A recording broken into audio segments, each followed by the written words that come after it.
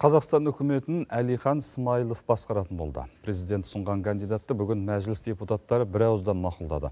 49 жастағы саясаткер осы күнге дейін премьер-министрдің міндетін атқарып келген, ал оған дейін үкімет басшысының бірінші орынбасары лауазымында болған. Әр жылдары статистика комитетін басқарды. Президенттің көмекшісі қаржы министрі қызметтерінде атқарды.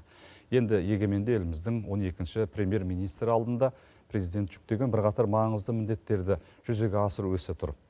Бүгін Қасым Жомарт Тоқаев депутаттар алдында жаңа Қазақстанды құруға бағытталған өзекті шараларды атады. Олардың ішінде министрлер, депутаттар мен әкімдердің жалақысын арттыруға мораторий жариялау, утилизациялық алымның ставкасын қайта қарау мен халыққа пайдасы тиер қоғамдық қор құру. Бастысы халықтың әл ауқатын құрғақ статистика күйінде емес, шынайы көріністі жақсарту қажет. Президент тапсырмалар жайлы тілшіміз Риат Шонидың бейнематериалында. Президенттің еститін мемлекет тұжырымдамасы бүгін өзінің өміршеңдігін дәлелдеді. Қасым Жомарт Тоқаев халық арасында көптен бері наразылық тудырып келген утилизациялық алымға қатысты тиісті тапсырмасын берді. Бұл іспен енді жекеменшік кәсіпорын емес, мемлекеттік орган айналысуы тиіс. Себебі халық ақшасы жекенің қолында кетіп жатыр. У предпринимателей и в целом в обществе множество вопросов вызывает деятельность компании, которая называется «Оператор РОП». Кәсіпкерлер мен жалпы қоғамда оператор РОП компаниясының қызметі көптеген сұрақты туындатып отыр. Тіпті осы жеке компанияға қарсы қоғамды қозғалыста ұйымдастырылды. Мен үкіметке оператор РОП утилдік алымды жинауына тыйым салуын тапсырамын. Мұнымен шетелдердегідей мемлекеттік ұйым айналысу керек. Алымдардың өзіне келсек, олардың ставкасы қайта қаралуы тиіс. Мемлекеттік утилизациялау, автомобильдік өнеркәсіп пен ауыл шаруашылығы машиналарын жасауға қолдау көрсетуін ешкім тоқтатқан жоқ. Бұл мәселені бизнеспен және қоғаммен конструктивті түрде талқылау керек. Отандық автокөлік пен ауыл шаруашылығы техникасын сатып алушыларға утилдік алым есебінен ваучер беру мәселесін қарастыру керек. Осы және өзге де утилизациялық алым қаражатын қоғамға пайдамен жарату тәсілдерін қарастырыңыздар. Ел қазынасын толтырудағы негізгі көз ол салық, бірақ бұнда да біраз былық бар, әсіресе кеденде. Бюджет кірісін арттырудың маңызды әлеуеті болғандықтан бұл жақты тәртіпке келтіру керек. Мәселен, Қытаймен шекарада көптеген заң бұзушылыққа тиісті орган өкілдері көз жұма қарайтындығын бүгін президент қадап айтты. Самый настоящий бардак, творящийся там, общеизвестен. Онда пайда болған нағыз былық бәрімізге белгілі. Машиналар тексерілмейді, салықтар мен баждар төленбейді. Келтірілген статистика Қытайдың кеден органдарыныкімен салыстырғанда миллиардтаған долларға жететін алшақтық барын көрсетеді. Қол тигізбейтін мәртебесі бар кейбір уәкілетті операторлар бар. Еліміз салық түрінде ондаған миллиард теңге жоғалтуда. Іс бұлай жалғаспауы керек. Мен бас прокуратураға, қаржы министрлігімен, қаржы мониторинг агенттігімен және басқа да мүдделі органдармен бірлесіп, кешенді тексеру жүргізіп, кедендік шекарадағы тәртіпті қамтамасыз етуді тапсырамын. Түйткілді мәселелердің түйіні бүгіннен бастап тарқатылады. Олардың ішінде қазақстандықтардың әлеуметтік жағдайы мен теңсіздігі, теңгенің құлдырауысында қоғам арасында кең тараған проблемалар бар. Президент қазір билік өкілдері халықтың шынайы тұрмыс тіршілігінен бейхабар деп шүйлікті. Ал елдегі соңғы оқиғалар кезінде кейбір мемлекеттік органдар жұмысының олқылығы мен тиімсіздігі байқалды. Осыны сынға алған мемлекет басшысы қарапайым халықтың жалақысы мен зейнетақысын құрғақ статистика жүзінде көтеріп қана қоймай, инфляция деңгейін тұрақтандыруды тапсырды. Бастысы елдің табысы, экономикамен қатар өсуі тиіс. С целью повышения благосостояния казахстанцев мы неоднократно поднимали зарплаты и пенсии. Қазақстандықтардың әл ауқатын арттыру мақсатында біз үнемі жалақы мен зейнетақыны көтеріп келдік. Бірақ әрдайым бағаның бақылаусыз өсуіне тап боламыз. Жыл сайын жоғары инфляция біздің экономикамыздың басты проблемасы болып қала береді. Ол экономикалық және әлеуметтік саясаттың тиімділігін төмендетеді. Бұл мәселеге нүкте қойып, бағалар мен халықтың инфляциялық күтулерін тұрақтандыратын кез келді. Инфляцияны төмендету бойынша жоспарлы жұмыс қажет. Мақсатты дәліз 2025 жылға қарай 3-4 процент болуы тиіс. Үкімет ұлттық банкпен және атамекен палатасымен бірлесіп, инфляцияны бақылау жөнінде шаралар кешенін әзірлеу қажет. Ол импортқа тәуелділікті, артық делдалдықты азайту және ақша кредит саясатының құралдарын қамтуы керек. Тағы ұлттық кәсіпкерлер палатасы мен үкіметке екі ай ішінде халықтың табысын арттыруға бағытталған бағдарлама қабылдауды тапсырамын. Жалпы шенеуніктердің азаматтармен диалогының тиімділігі әлі де төмен. Мемлекеттік органдардың басшылары халықпен қарым-қатынас жасауды білмейді, кейде қорқады. Үкімет мүшелері өңірлерге тұрақты түрде баруы тиіс. Ал облыс әкімдері әрбір елді мекеннің тұрғындарымен тұрақты кездесулер өткізуге міндетті.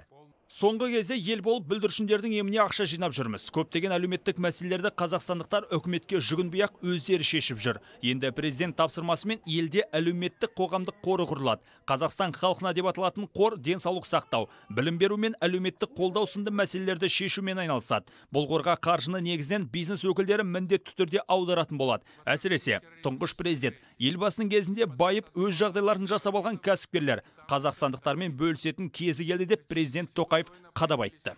Например, помощью детям с редкими заболеваниями. Мысалы, сирек кездесетін аурулары бар балаларға көмек көрсету. Шынында да, көптеген отбасылар үшін емдеу шығындары өте ауыр.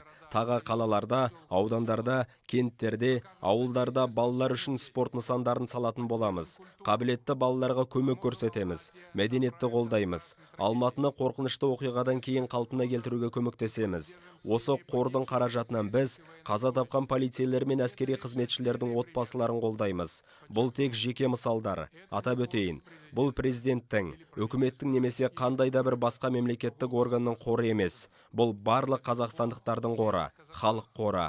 Ол әкімшілік немесе үкімет жанында жұмыс істемейді. Беделді байқау кеңесі құрылып, адал және жауапты басшы тағайындалады. Біз оның қызметінің толық ашықтығын, қоғамға есеп беруді және бақылауды қамтамасыз етеміз. Жоспарлар, бюджет, жобалардың барлығы сайтта жарияланады. Барлық ақпарат ашық болады. Қорды қаржыландыру жеке және мемлекеттік көздерден жүзеге асырылатын болады. Халықаралық қайырымдылық ұйымдарының көмегін тарту жоспарлануда. Бұл қорға лотерея қызмет операторының, ставкаларды есепке алу орталығының және басқа да монополистердің міндетті аударымдары жіберілетін болады. Әрине, біз бұл қорға ірі бизнес тарапынан айтарлықтай және тұрақты түрде аударымдарды күтетін боламыз. Алдағы 5 жылда депутаттар, әкімдер мен министрлердің жалақысы артпайды. Бұған президент Тоқаев бүгін мораторий жариялау керектігін айтты. Себебі бұл аталған тұлғалардың қазіргі айлығы күнін көруге әбден жеткілікті. Мәселен, облыс әкімдерінің ең төменгі жалақысы 1 миллион теңгенің төңірегінде болса, ең жоғарғысы 2 миллионға жуықтайды. Ал халықтың мүддесін қорғайтын депутаттар ай сайын 1,5 миллион теңгеден астам табыс табады. В конце прошлого года данный вопрос активно обсуждался в обществе. Өткен жылдың соңында қоғамда бұл мәселе қызу талқыланған. Менің ойымша үкімет мүшелері, облыс әкімдері мен депутаттардың жалақысы қазір тиісті деңгейде. Сондықтан аталған лауазымды тұлғалардың жалақысын өсіруге 5 жылға мораторий жариялау керек. Бұл мәжіліс депутаттары үшін жағымсыз жаңалық екенін түсінемін. Мұны сіздер түсінетін шығарсыздар. Экономика өсіміне байланысты әкімшілік мемлекеттік қызметкерлердің, бюджет қызметкерлерінің жалақысын көтереміз. Бүгін президент елдегі таныс тамырлық арқылы жүзеге асып отырған мәселелерді де көтерді. Қазір мемлекеттік қолдаудың өзі бәріне бірдей қолжетімді емес, әрі төмен тиімділік көрсетіп отыр. Басты себеп қалыптасқан жүйе негізінен достарға бәрі қалғандарына заң аясында қағидаты бойынша ірі құрылымдарға қызмет көрсетуге бағытталған дейді президент. По сути, данная система еще более усиливает олигополию в экономике. Шын мәнінде, бұл жүйе экономикадағы олигополияны одан әрі күшейтеді. Ірі кәсіпорындар бәсекелестікті тежейтін және реформаларға кедергі келтіретін ерекше артықшылықтарға ие. Мысалы, Қазақстанның даму банкі шын мәнінде қаржы өнеркәсіптік және құрылыс топтарын ұсынатын таңдаулы тұлғалар тобы үшін жеке банкке айналды. Біз бәрін аты жөнімен білеміз. Жоғары кабинеттерге қол жетімділікті пайдалана отырып, олар өз жобаларын іске асыру үшін өздеріне тиімді жағдайларға қол жеткізе алады. Бұл жобаларға мемлекеттік ресурстар пайдаланылады, ал оны шағын және орта кәсіпкерлікті дамыту үшін тартуға болады. Үкіметке Қазақстанның даму банкі қызметін қайта құру тапсырылады. Мемлекеттік қолдау шараларын ұсыну рәсімдері де ашық емес, тиімсіз болып қалуда. Бұл тәсілдерді түбегейлі қайта қараған жөн. Бұл ашық және түсінікті механизмдер болуы керек. Өңірлерде шағын және орта бизнесті дамытуға ерекше назар аудару керек. Әділ бәсекелестік біздің экономика үшін басты талапқа айналуы тиіс. Қазір Қазақстанда бағаны ымыраласа отырып белгілеу қалыпты жағдайға айналған. Ал мемлекеттік және квази мемлекеттік сектордың сатып алу саласында картельді келісімдер жасасу кеңінен тарап кетті. Бұған көңілі толмаған президент жауаптыларға мемлекеттік сатып алуда тазалауды жүргізіп, баға саясатында жүйелі реформаларды қабылдау үшін кешенді ұсыныстар әзірлеуді тапсырды. Мысалы, мен былтыр фармацевтика нарығындағы картельді ретке келтіруді тапсырдым.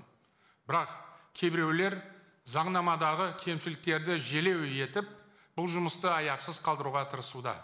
Сондықтан картельді келісімдер жасасты деген күдік болған жағдайда мемлекеттік сатып алуға қатысушыларды тексеруге тыйым салу туралы мораторийдің күшін жоюды тапсырамын келесі мәселе жылдан жылға біздің азаматтарымыз бен кәсіпкерлеріміз жанар жағармай өндіру және оны бөліп тарату жүйесінің ашық болмауынан зардап шегіп келеді. Тіпті жанар жағармай бағасын жарты жыл бойы қолдан реттеуге мәжбүр болып отырмыз. Осы кезеңде бас прокуратура бәсекелестікті қорғау және даму агенттігімен сондай ақ энергетика министрлігімен бірлесіп осы саладағы жұмыстарды ретке келтіруге оны реформалау үшін кешенді ұсыныстар әзірлеуге тиіс.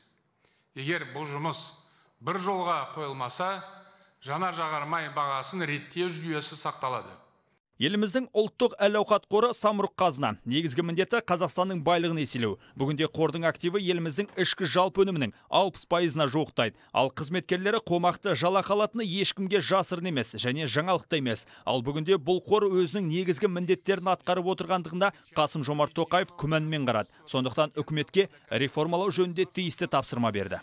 яғни осы ұйымның тиімді қызметі бүкіл экономикамызды өркендетуге тікелей әсер етеді.